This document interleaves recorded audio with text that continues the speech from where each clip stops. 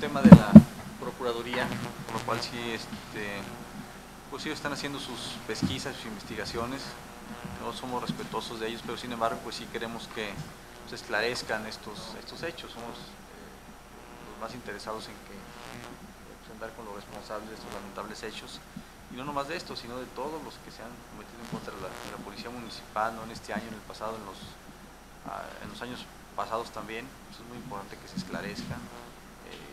que se dé con los responsables de los atentados de los policías